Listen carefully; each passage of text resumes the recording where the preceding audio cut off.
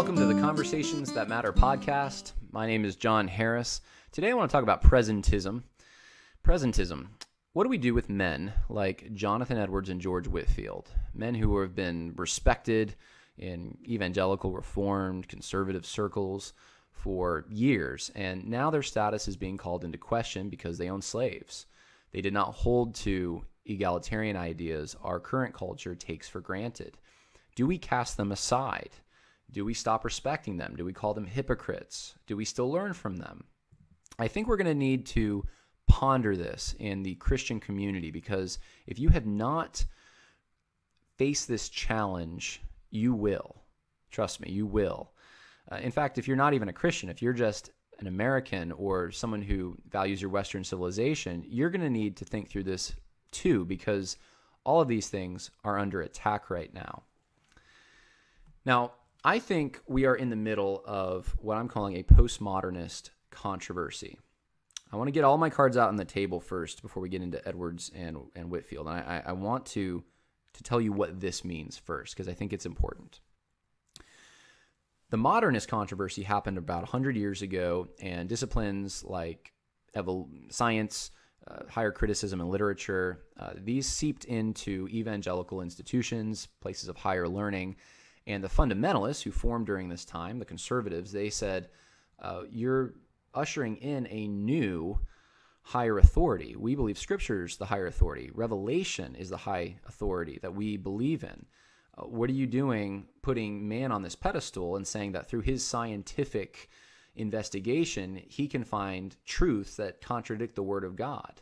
Uh, that we don't, revelation is what dictates what is true before man does anything like that. Those who were on the progressive end of this, who kept these institutions, the fundamentalists basically took their resources and went and started new ones, they did not think initially that they were doing anything to threaten the gospel. In fact, they probably thought that they were helping things. We're going to make Christianity intellectual. We're going to make sure that these disciplines are integrated with Christianity. Today, we have, I think, a similar situation, but we're not used to being attacked from the angle in which we're being attacked now. So, with the social justice movement, instead of these uh, modernist type objective uh, type of disciplines, you know, from science coming in and creating a, an issue, it's actually disciplines like history and sociology that are coming in.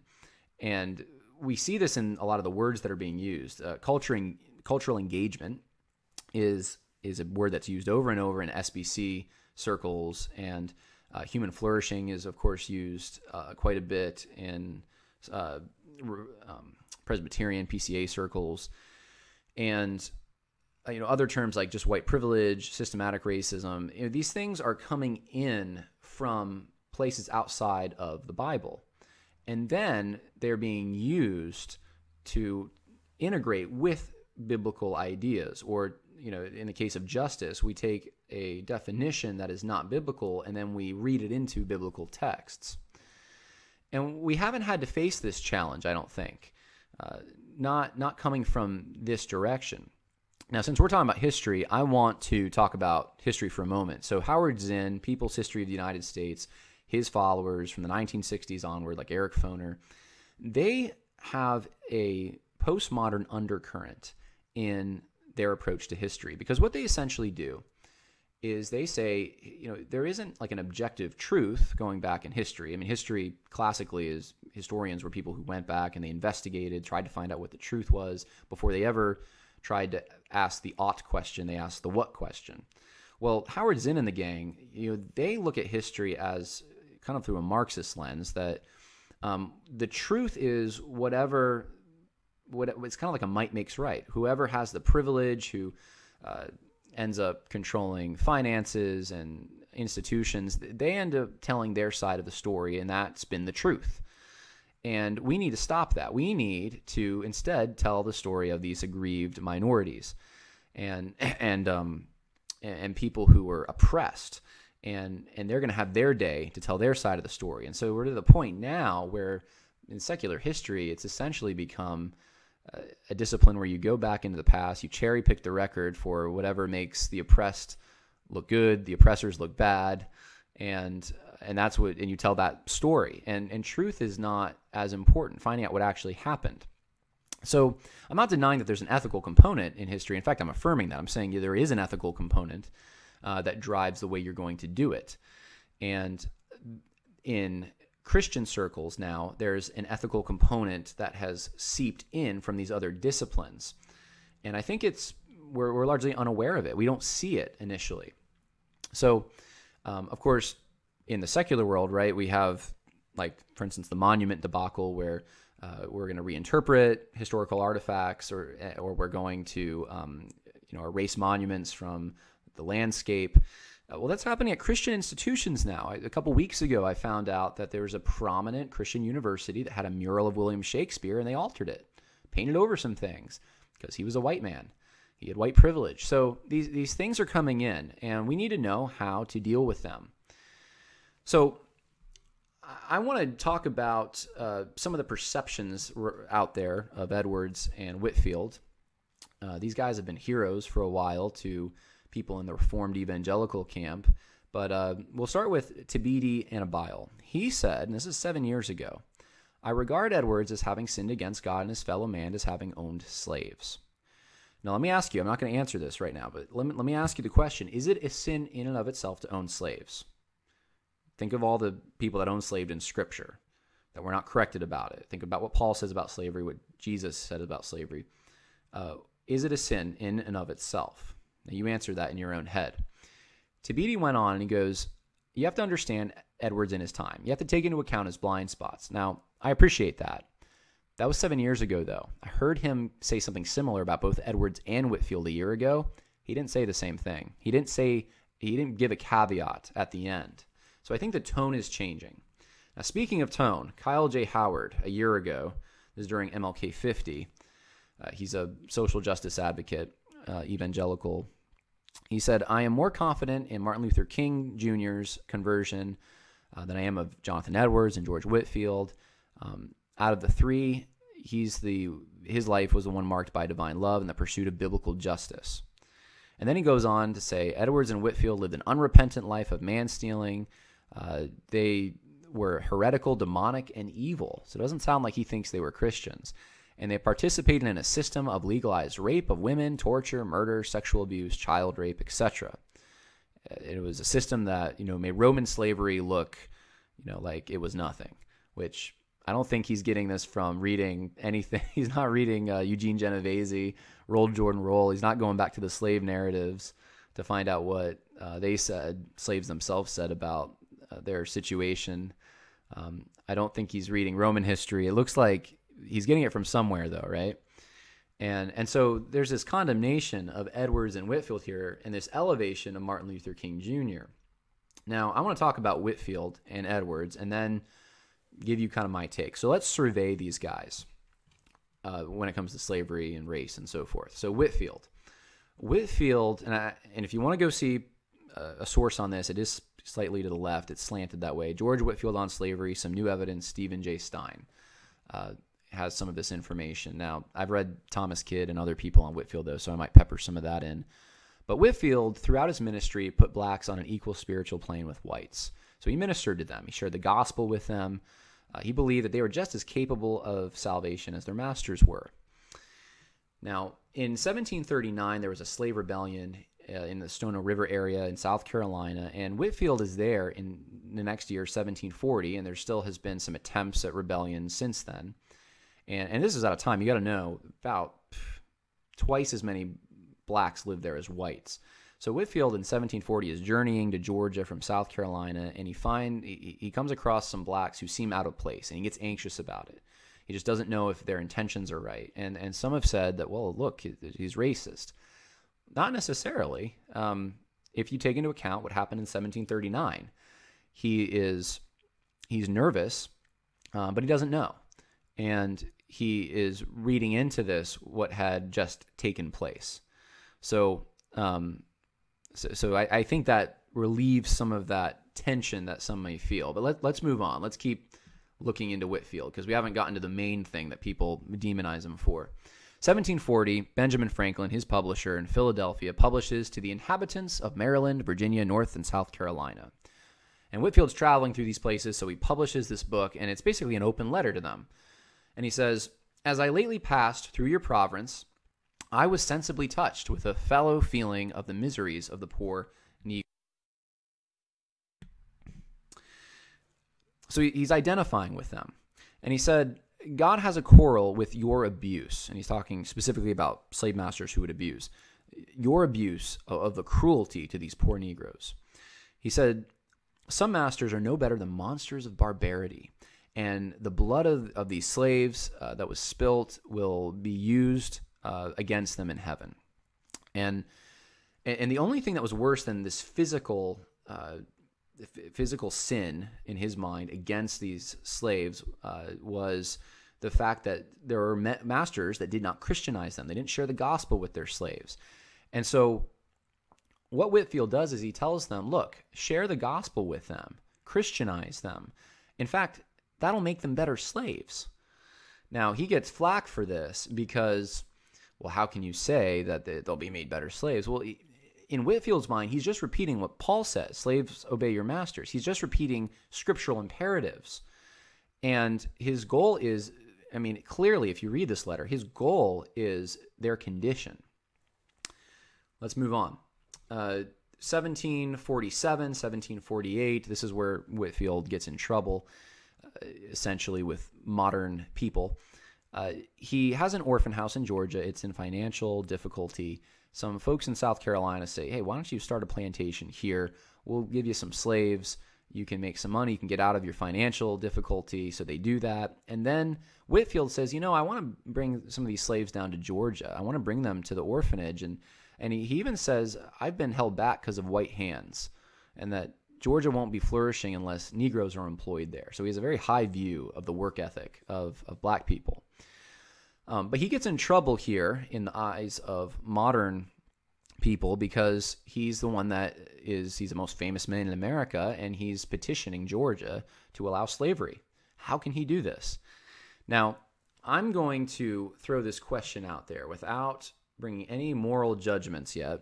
I'm saying anything really. I just want you to think about this because because there's a lot of things I think when it comes to presentism. There's a lot of things we overlook uh, there is an ethical dimension to presentism. Are we judging the past by standards that come from, if you're a Christian, the Bible?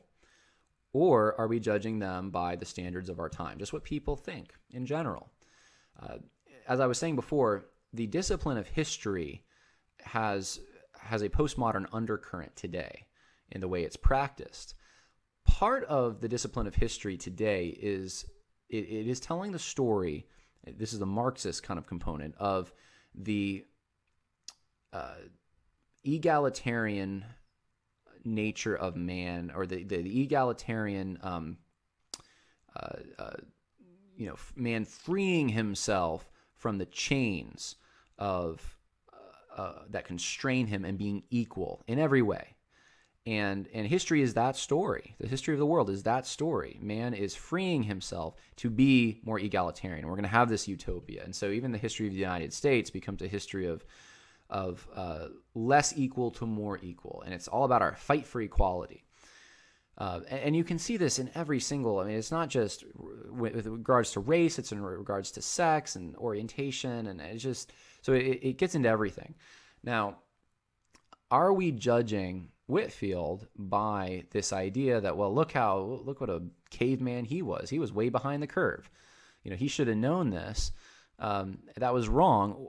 And when we say it's wrong is it wrong because we have a chapter and verse or is it wrong because the what our modern current age tells us is the standard we're operating by? Now, let's review for one second. Whitefield put uh, uh, slaves and masters on the same spiritual plane he was very strong against masters who abused slaves. Um, and, and so he was against that. Uh, and then we have this thing where he essentially uh, allows or introduces slavery, helps introduce it into Georgia. And um, but he believes that slavery should be guided by a Christian principle. Uh, and so so this is this is who he is. You know, trying to be as nuanced as I can while giving this to you in a brief short form. So let's get let's go on to Edwards, and we're, we're you know hold that whatever thoughts you have, hold those. Let's talk about Edwards, and then let's let's bring this all together. Uh, Kenneth uh, P. Minkema, uh, Edward Jonathan Edwards on slavery and the slave trade has some information on this that surveys some of this stuff. Um, he owned at least four slaves during the course of his life. He did not draw metaphysical differences between race, though. Uh, he thought that just like Whitefield, um, in fact, he, he goes a step beyond Whitefield because in the 1730s there were Native Americans and, uh, and African Americans becoming slave, uh, becoming saved, not slaves, saved. They were becoming slaves too in some ways, but they're becoming saved in joining churches. And Edwards in 1739 basically says, "I'm looking forward to the day that Native Americans and African Americans are going to be writing." They're going to be divines and they're going to be writing excellent theological works and and this was his hope. So not only does he think that they're equal in in the sense that they have the same problems that everyone has, sin, and they have the same solution, salvation. He says they, they can go toe to toe with us intellectually. Why not? So. So that's Edwards. Uh, now, the only document that we have where he specifically talks about slavery is a draft. And he's writing to defend a minister. Some people think it was him and he's being, you know, this minister, whoever it is, is being criticized by the congregation for owning slaves. And he condones slave ownership. He does. But he also condemns the slave trade in this, which is interesting. He acknowledges its inequities and disturbing implications, but he takes ownership. Uh, he, he takes a sorry a providential view of um, of the institution. So it's a necessary evil and it serves some positive good in God's decree. So remember, he's the Calvinist, right? So he's saying God's got a purpose for this. He's Christianizing some people that wouldn't have received the gospel. There's something going on. Now, uh, he believed that holding slaves was permissible as long as they were treated humanely, which is what the law of Massachusetts also required. He points out the hypocrisy of those who profit off of slavery, slave products, while condemning it. And he says, For if they continue to cry out against those who keep Negro slaves as partakers of injustice in making them slaves, and continue still themselves, notwithstanding, to be partakers of their slavery, let them own that their objection are not conscientious, but merely to make difficulty and trouble for their neighbors. So he says, You guys are a bunch of busybodies. You don't really care about the condition. Now remember that, that word condition, uh, with, with Whitefield and with Edwards, they're concerned about the condition of slaves. The, today, though, uh, word difference here. Today, in our egalitarian age, the thing that matters, it seems like, is status more than condition. Well, they, they, they couldn't vote. They couldn't. There's things that they couldn't do that other people can do. That would not have been on Edwards and Whitefield's mind. They, it just wouldn't have been a, a, thought as much. They lived in this hierarchical culture, and um, it, it just it wouldn't have crossed their minds. Now, were there were the seeds for getting rid of slavery planted by Christians during this time? Yeah, they were. I mean, the idea that slaves and masters are on the same spiritual plane really did help end slavery. But uh, was there specifically biblical passages that they could look to that were clear that said this is evil, this is wrong? There weren't. And, and so they operated within the time that they lived as men of their time. Uh, now, Edwards also opposed man stealing uh, based on biblical principles. Again, he limited the purchasable slaves to war captives, debtors, and children of slaves. So he's, he's reaching back into the uh, Hebrew Bible, the Old Testament, and he's saying this is we should operate by this. His son did become an abolitionist. So um, so it, I just think that's interesting that his son did that. Uh, one more thing when it comes to Edwards, he's often called a racist because of some comments he made about Indian cultures. Because Edwards became a missionary to Native Americans. He uses the word Indian here. He says in a letter to William Pepperell, he says Indian languages are extremely barbarous and barren, and very ill fitted for communicating things moral and divine, or even things speculative and abstract. In short, they are wholly unfit for a people possessed of civilization, knowledge, and refinement. Now, is that racist? Or is he saying, the context here is he's giving Pepper, Pepperell uh, advice on educating young uh, Native Americans. Is he uh, is is he saying they need to learn English? That is what he's saying. He's saying they need to learn English to get these theological truths down, and they need to comprehend them. It's not just enough to just make them memorize sounds; they need to comprehend. And he's saying you, you can't do it in their language. I don't know enough about the language to to know whether that's true or not. But is that in and of itself a, a racist or you know ethnically superior thing that he is saying? It, do, it doesn't sound like it.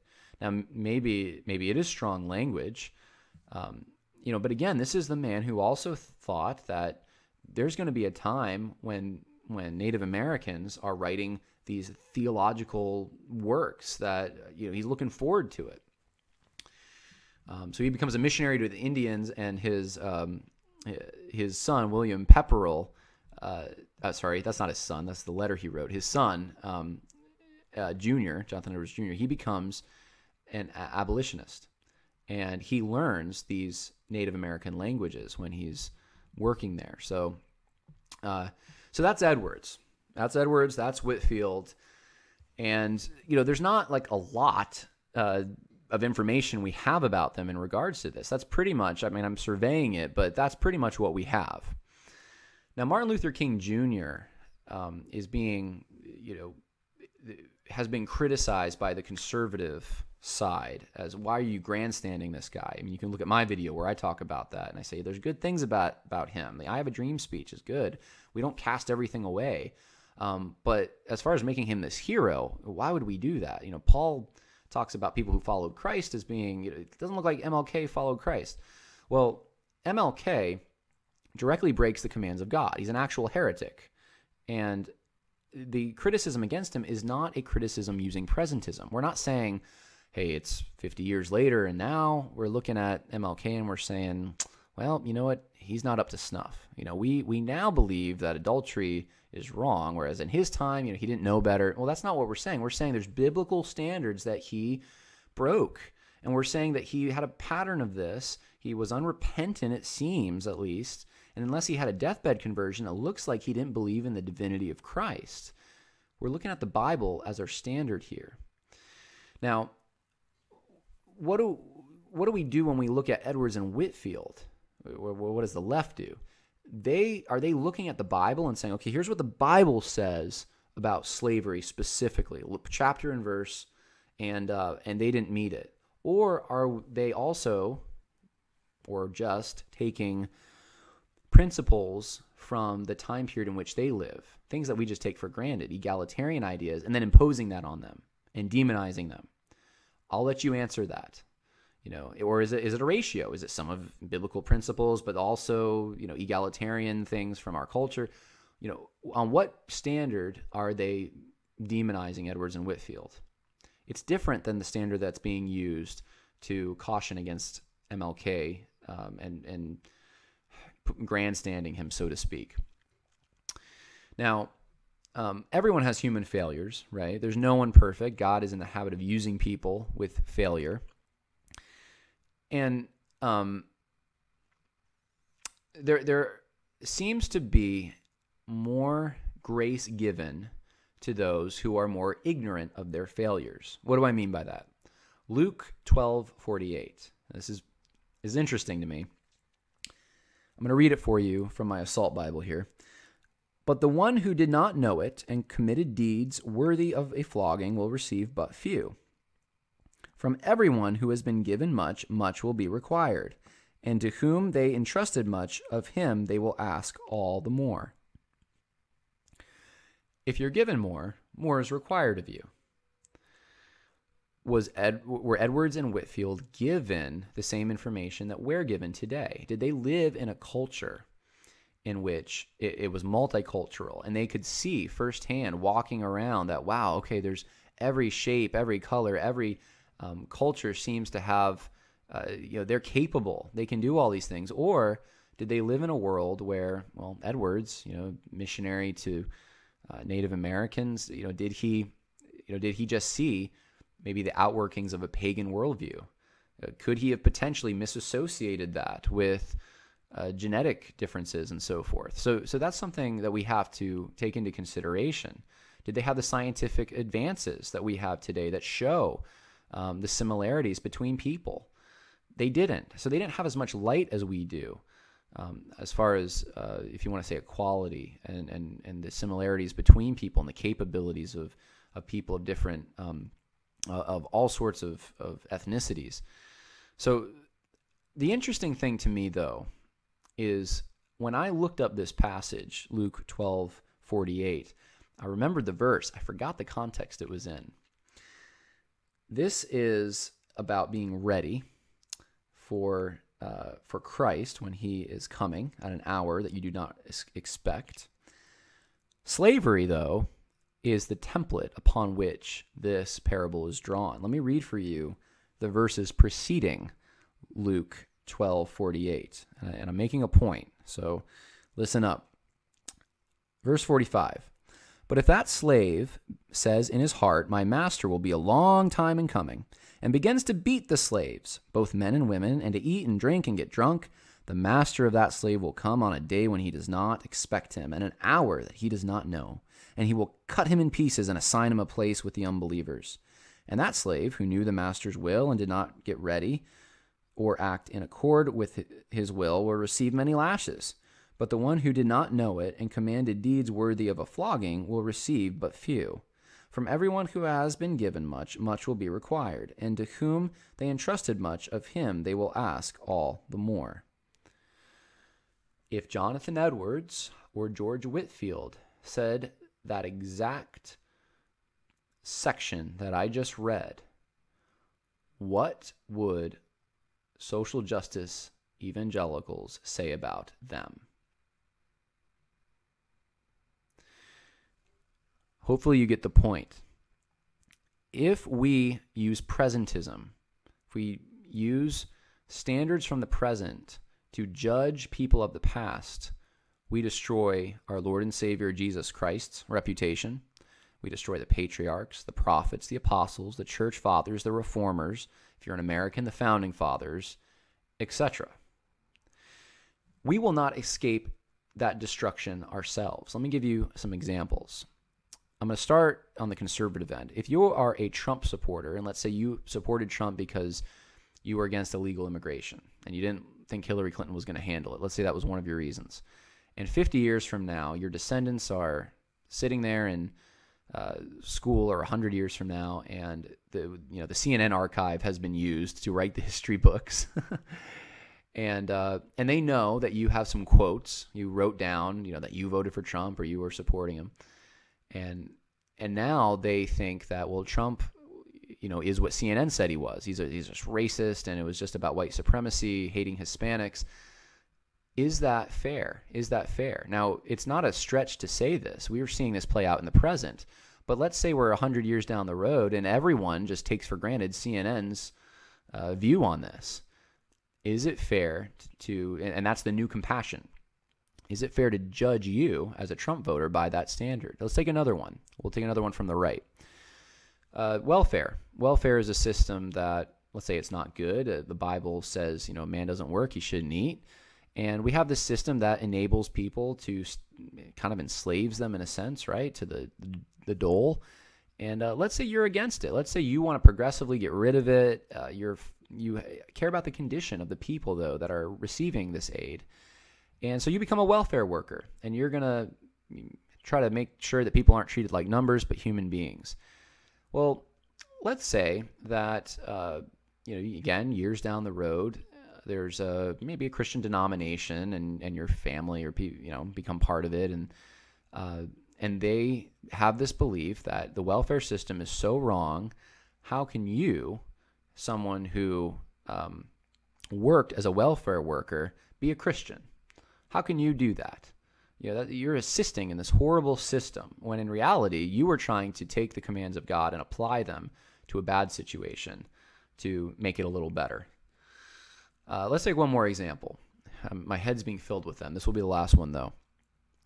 Let's talk about slave labor in the sense of uh, sweatshops and clothes that are purchased at like Walmart or Target you know, let's say you're benefiting, like Edwards was talking about, those who benefited from slave labor.